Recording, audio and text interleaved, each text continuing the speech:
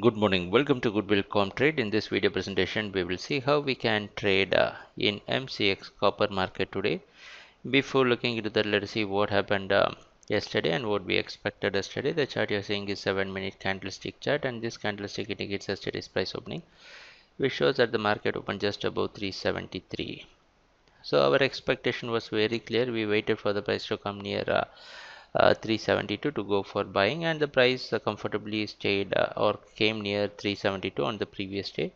And we thought we can go for buying till 366 uh, placing stop loss near 365 so what happened yesterday right after the price opening the price uh, continued its selling. You could see it it's a very straight away drop towards uh, 366 we can say uh, whenever we say support or resistance it is not a single line it is a zone.